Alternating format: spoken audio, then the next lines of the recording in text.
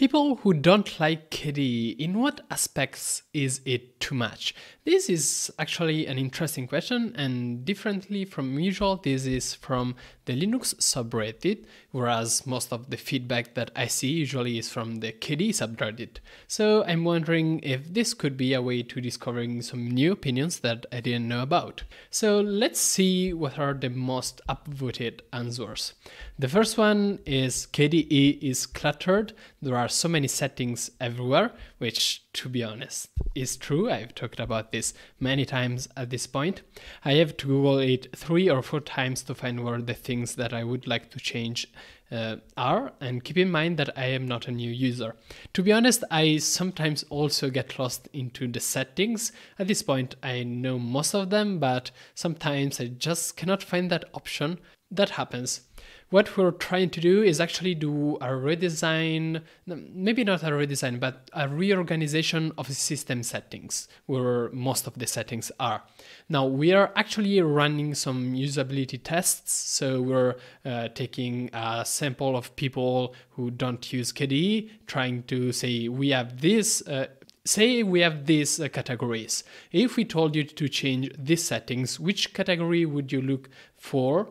And uh, that way we can actually understand whether our organization is good or bad. So there are uh, ongoing improvement and work in that direction, and hopefully we'll see that soon. What else? Consistency. Uh, Sig, every app looks different. We have hamburger menu, normal menu, toolbars. So actually, I joined KDE because of consistency, and I was like, I am still the goalkeeper of the KDE consistency goal. So my personal goal is to make KDE as consistent consistent sorry as possible. And i'm trying my best but of course it's not that easy. And the burger menu was something that i discussed a lot over the years. Uh, it's funny. It's not funny. So the decision that was took is to actually keep the hamburger menu and try to port it as many apps as possible. Some apps don't want a hamburger menu and they prefer to keep the menu bar toolbar um, combo. And um, those apps may, may have an optional hamburger menu. The hamburger menu that we have is actually pretty cool because it's a custom component called K hamburger menu very originally. And it's very magical because if you add something to the toolbar that is in the menu it will automatically disappear and the opposite. And it also displays all of the options that are usually in the menu bar. So it's pretty cool actually. So for kickoff menus or three task managers out of the box, I think that maybe is a little bit overkill. Uh, kickoff is actually just the default one. Others have different names like Kicker, but uh, I guess he meant application uh, launcher, which makes sense. Uh, it's slightly overkill, sure. Um, four kickoff menus. Do we have four? So there is kickoff. There is the application dashboard, which is the full screen one. There is the menu one, and that's it. Should be three. It should be three. The only one that would be fine with removing is the menu bar, the menu one, that uh, the one that looks like a menu. I would keep the application dashboard because that's uh, something that's not covered at all by kickoff. So, but I see the point. Three task managers is slightly unfair uh, uh, it should be true as far as I know. I am surely going to be proven, proven wrong. And those two are actually the same package because Icons only task manager and the classical task manager is actually the same applet. It's just exposed with two different names depending on what the user wants. So it's more easier, it's easier to switch between them. KDE apps, there are great like Dolphin, Okular Arcade, Gwenview, but there are a lot of other KDE apps that are totally unstable. KDE has maybe 8 to 10 top apps, except these, the quality of the rest is below the bar. I would say slightly more than 10, but I do see the point, and that is also something that there is a lot of work in trying to fix. A lot of apps from KDE are outdated, except for the like uh, 10 to 15 top ones. And uh, now there is Kirigami, and Kirigami is hoping to see, thanks to Kirigami, a new wave of apps. So, what's Kirigami? If you don't know, uh, it is a framework to build QML applications, and it actually makes it much easier to do that. So there are many new apps coming in, like NeoChat and the Telegram client. Those apps that are completely new, being written in Kirigami. There's also like a mail client, uh, but also a file manager. There's a new image viewer called Koko. There's a lot of stuff coming up. Dolphin is slow compared to Nautilus, for example, thumbnail generation. Interesting, I will test that one. KDE PIM is totally broken. Yes, that, that's there's nothing to say about it. Bugs right now is much better, but uh, still buggier than GNOME, which is fair. And to be honest, that's not because of KDE Plasma developers being bad, but because of the philosophy behind the two projects being completely different. You have a much, much more probably complex, uh, with uh, much more moving parts. That is, KDE GNOME is more minimalistic in his philosophy. Two different approaches, and of course, KDE KDE's one is going to be more uh, bug uh, buggier. Is going to be buggier. Okay, so this one is another super long comment. Let's start with one. Many KDE programs, especially Plasma, feel like jack of all trades but a master of none. Interesting one. I, I had never heard of this one. What's the idea? We can debate until the cows come about GNOME strict design policies and simpli- simplistic, sometimes to the point of limitation user interface, blah blah blah. KDE Plasma can be configured to look and act like almost anything. and makes available hundreds of different widgets, but it sometimes feels to me like the overall workflow and how these pieces are connected to form a cohesive whole is ignored. Okay, personally, I disagree with this analysis. I think that there is actually a strong interest in making sure that the default workflow, workflow works nicely out of the box the sad part is that of course if you start customizing stuff then making sure that the result is actually cohesive is up to you and not up to the uh, developers but the default workflow is actually very curated choice and flexibility is great but every option that developers add is a piece of conf- configurable state that some someone has to configure. Kind of like yes but it's not really about some piece of con- configurable state that somebody has to configure. Rather it's about the ui being too complex because of having too many options because most of the option will never never be configured by anyone most of the option won't be touched by anyone by most people. But so the issue isn't that you like open up KDE Plasma and have to configure all of the options. It's just that if you have a lot of options, then it's complex to find the one that you're looking for, and the UI is uh, going to look more scary. Yeah, you can read here. If you make an application with 10 configurable settings, then just about anybody would be able to configure it in a matter of minutes. If it has 100 settings, then only hardcore users will have the patience to configure it to the tastes. No, because it, you don't open up a project and configure everything like depending on the amount of options it has you open up a new project and then you configure what you need and how much uh, how long that task is going to take depends on how much uh, how easy it is for you to actually find the options you need. And the more options a project has the longer it takes to actually find what you need. Last try last time i've tried kde neon I wanted to globally disable animation, and you can do that. There were at least three different switches for disabling animations scattered around. This is not true, I'm sorry, but I'm not gonna let that one slip. None was a global toggle, and setting all of them off did not disable all animations. You needed to add a line to some config files, setting the timer for animation to be zero to achieve what I wanted. Wait, wait, wait, wait, wait, wait, wait. Okay, so here I have system settings and it's looking weird because I'm on GNOME, so I'm running KDE system settings in GNOME, which is weird, but it works. And I'm gonna show you how to disable animations. If you search for animations, you get general behavior, And here, animation speed, you put it to the minimum. And that's it. If you want this even easier, you go to the home screen and here, animation speed, minimum. So you just literally have this card to open up system settings, never click anywhere except here, drag and drop here.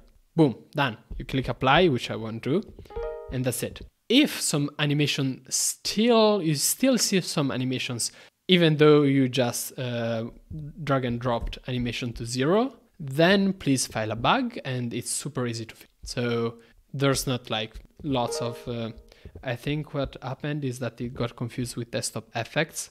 And in here you have some like the fade, where is it? Like you, you can choose between fade desktop and slide, but this is the only other animation settings, system settings. There's just one and it's on the home page. So no, sorry. I, I don't uh, I don't agree with this one. And you do not need to change any config file, obviously. If somebody some piece of KDE doesn't uh, stop doing animation after you change that settings, just make a bug report. It's super easy to fix it. The only gripe I have with KDE is that mixed DPI scaling is busted. Yes, that's true. And uh, I'm actually super ignorant about this, so I just leave it like totally true and uh, let's switch to the next one. I can't quite understand this sentiment, uh, which is the most frequent reason I see for disliking KDE software is that the users perceive it as cluttered and overwhelming. Well, I actually agree. I mean, it's a bit over overwhelming. Yes, Plasma offers many settings and options, but the default configuration is pretty good. I think that a lot that uh, a lot that we see in this thread is people that haven't used KDE for a couple of years because KDE has improved a lot in the last couple of years and it's still improving. So I think people like before saying that you have to change a lot of settings and it's super overwhelming haven't tried the latest release, but even in latest, it's still a bit cluttered. There's still work on, going on, obviously. So I see pizza. I'm Italian. Let's read pizza. So imagine to go in a pizzeria. Would you prefer to have two pizzas on the menu or 10? It's more like 10 versus 100. I'd rather go with 10 pizza please versus 2, but 10 pizza please versus the 100. Hmm, I'd expect a pizzeria to have at least 15 to 20 options. So, what very good pizzerias do is that you offer 30 pizzas at least. I don't know. Here in Italy, it's at least 30 for a serious pizzeria. And then you actually allow the user, which is the client, the pizza guy, the Italian, to customize their pizza by allowing him to change and add ingredients. As an example, my pizza is a marinara. Why did I pronounce it with such an English? A marinara. It's a marinara with added um, onions, olives, and pepperoni. And that's not on any menu, but I just go there and say that, please, a marinara with this, that, and that and that works. So if you count all of the options in any pizzeria, you do get at least 100 pizzas. Like if you enter any pizzeria and you start ordering pizzas, you can at least do 100 before you have to repeat yourself. I can guarantee that in Italy. It feels unintuitive and unpolished, okay? In the GNOME app settings, I can go to the correct place first try. In KDE, I have to troll through several layers of menus first. Again, that's true, and we are working on improving that. I constantly, const- constantly feel lost in a maze of half-baked features, even more so than in Windows. Although maybe I just got used to Windows. Okay, fair enough. Yeah, there are some half-baked features. Like I would argue that activities are quite half, which is why there is some sentiment asking to remove activities. I'm also not a fan of the design language. It feels a bit like the design equivalent of programmer art. Icons feel too big, as does the time date. The menu acts in ways that I don't want it to, and I'm overall not impressed with its design language. About this, by the way, um, like the time date being too big was a complaint that I heard a lot. And we actually addressed that a couple of uh, versions ago, like six to 12 year, uh, months ago. So uh, as uh, also icons being too big was also addressed by me actually with margin RS in the panel. So as I said before, there has there has been improvement, and uh, I think that maybe some people should try out the new version. There's been a redesign, and maybe that will help make these people a bit happier. I hope. Although I don't particularly dislike KDE, the top two annoying things about KDE that come to my mind are the settings menu, which in my opinion is terrible. Okay, so we fix system settings and that's it. Like we, we we're done. what else is this? It's like system settings, system settings, system settings. So easy. Okay, we are working on fixing system settings, so nice. It's cluttered, it's not a good user experience, blah blah blah blah blah. Yes, now, the other one, sorry, is the way KDE handles multiple desktops. Multiple desktops, that is, ah, okay, starting with two desktops and then creating more on demand. There is a script to do that, uh, not a script, um, KWin extension to do that. So if you like that, you can actually have it. I also don't really like Dolphin's default layout. It's just too much information on a single window. I will talk about Dolphin more Uh, in detail in the days to come. And then there is David Edmundson, KDE developer. It would be nice if someone responded to OP's actual specific questions. People in this thread are repeating the Me Too using, using the same vague broad strokes with a vague language like the too much that doesn't result in anything actionable. I mean, it's just fix system settings and we're done. After system settings is fixed, KDE is basically perfect. I tried to modify my taskbar clock and ended up deleting the entire bar. I spent 30 minutes trying to find the right sub sub menu to revert my changes before giving up. How many years haven't you used KDE Plasma in? Like this? Eh, no. Okay, so let, let, let's talk about this. I, I totally disagree with this. So I tried to modify my taskbar clock and ended up deleting the entire bar. So doing this on accident is so difficult because we've actually hidden the option to delete a panel to make sure that it wasn't accidentally uh, tr um, triggered. And we even made sure that it was always the furthest, farthest option from the panel. So if you go into more options, remove panel is always as far as the panel as we could put. So this one is quite hard already.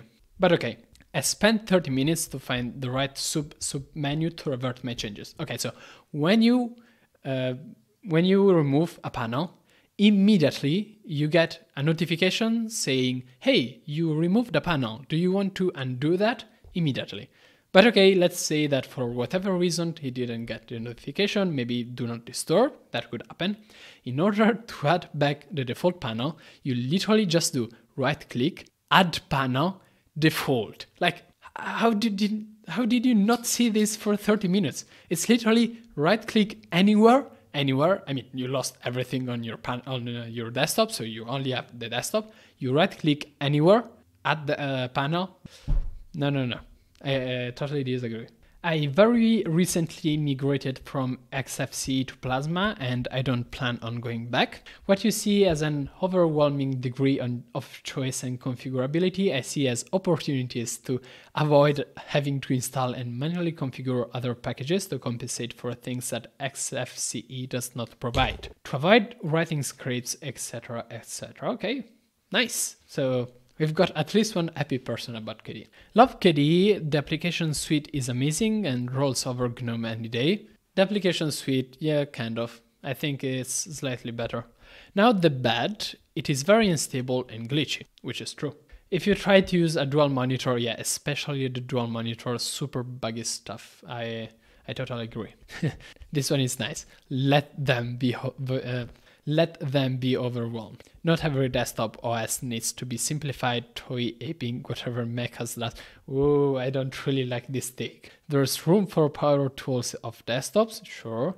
KDE Plasma is full features and they are discoverable because there are signif signifiers, signifiers for them, i.e. clutter. New users want to know how everything works, but they can explore, learn, and change everything to fit their needs. Okay, kind of, kind of. I think that was it. Uh, interesting part was this one. Hopefully, this was interesting. There's, a. I hope you learned something.